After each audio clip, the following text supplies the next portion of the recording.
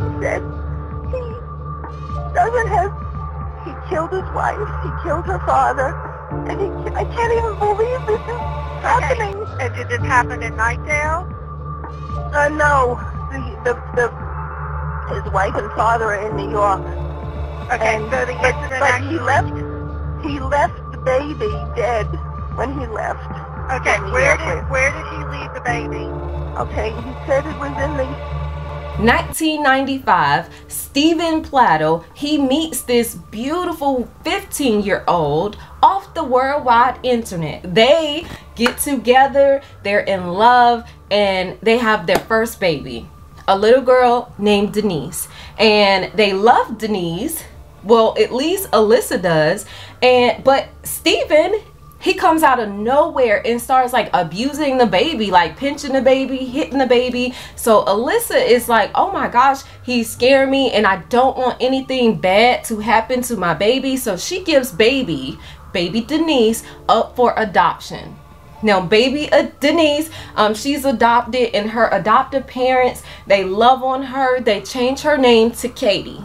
On her 18th birthday, they had always told her that she was indeed adopted. So on her 18th birthday, she sets out to try to go meet her biological parents. So she finds successfully finds her biological parents, Mr. Steven and Alyssa, and they are still living in the same home and they have two other daughters, but they are going through a separation slash divorce. Katie, even though she sees all the strife in the house, she's like, you know what? I want to move in. I want to move in. I want to get to know you guys. Like, I want all of this. I want to get to know you. So she moves in with Steven and Alyssa and their other two daughters, her sisters. And at that point, Steven develops this like obsession, unhealthy relationship with Katie. And Alyssa is like, whoa, what is going on? She tries to come and check Steven. Like, you're sleeping in her room on the floor. As he say, he was on the floor. He was sleeping on the floor. And she's like, that doesn't make me feel comfortable. You sleeping in this girl room every night on the floor. Alyssa's like, you know what? I don't want no parts of this. I'm out. So she moves out with her two daughters. And Katie stays with dad. Like she's riding with her daddy. She rocking with her dad. Like this is what it is. Um, Alyssa talks to Katie. She warns Katie like, yo, your dad tried to kill you when you were an infant. Katie's like, yeah, that was in the past. It's okay. I forgive him. And uh, she proceeds to stay in the house with Daddy Steven.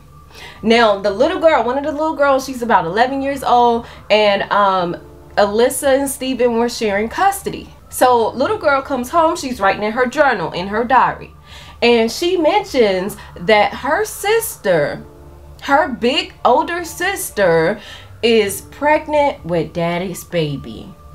And Alyssa explodes. She calls 911 and she's like, yo, this is some incest stuff going on over here. I don't know what's going on, but y'all need to step in and get involved. And uh, the police does absolutely nothing. Steven is so upset that Alyssa has called the cops on them. That he, you know, files for divorce. And two months after his divorce is finalized with Alyssa, in 2017, he marries his own biological daughter. He marries her. And not only do he marry her, guys, this is the twisted part. His family, his mother supports it. Like there's a picture of his mother at the wedding and also her parents standing there smiling like this is the most complete and normal situation that has ever happened in the history of America. After the two were married, she gives birth to a baby boy and they are arrested a few months after she gives birth. They go to jail. The police arrest them on incest and um, they get out of jail. Um, the judge orders Katie to allow the little boy baby to go stay with Steven's mother. So Steven's mother um, has custody of the baby that they had together. The adoptive parents told Katie, like, no more of this. this is weird. This is getting big. Like, let's stop. So Katie actually at this point is like she's two years older from her 18 so now she's in her 20s and I think she kind of woke up. She calls up Steven like hey I can't do this anymore. This is like really weird and I'm not comfortable. And she visits the baby and then she goes back to her adoptive parents house and her and her adoptive dad they get in the car and she's going to go up north to New Jersey or New York and stay with her um, adoptive grandmother. But Steven is so upset. He gets pissed. And not only do he get pissed, he goes and he picks that boy baby up from his mother's house. He picks the baby up. He takes that baby back to their home in North Carolina um, I think it was like Knightdale, North Carolina. He gets that baby and he kills that baby at the house. He beats the baby. He like smothers the baby and he puts the baby dead body in the closet. And then he gets in his car and he drives. He follows um, Katie and her adoptive dad. He sees them. They're right in um, New Jersey. He pulls up. He shoots them both. He calls his mother. He say, Mama, I killed the baby. The baby is at the house. The dead body's in the closet. And I also put the front door key under the mat on the porch. You need to call 911. I also killed Katie and her adoptive dad.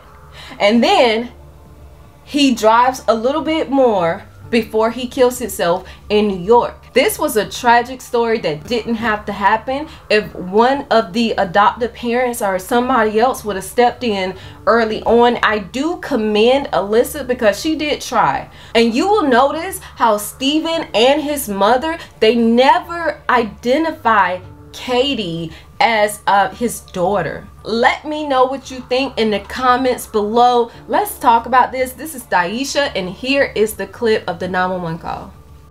911, address of the emergency. Yes. Um, uh, my son just called me, and uh, he told me he. Okay, tell me exactly what happened.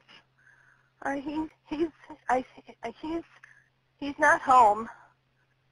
His wife broke up with him over the phone yesterday, and he told me she's in New York, and he told me he was on his way. He called me last night and said he's on his way. He's going to bring the baby to her, and then he was coming back. And he just, he just, okay. he said he doesn't have killed his wife. He killed her father. And he, I can't even believe this is happening. Okay. And did this happen in Knightdale? Uh, no. The, the, the, his wife and father are in New York. Okay, and, so the but, incident but actually... he left, he left the baby dead when he left. Okay, where did, where did he leave the baby? Okay, he said it was in the, and he called me this morning. I, I just got up the phone just a couple of minutes ago. And he told, and I, oh God, he told me to call the police that I shouldn't go over there. Okay, so the son is, uh, so your son is not there? No, no, the house is empty. The, oh, he said he put a key under the front mat. To take a key to get into the house under the front mat.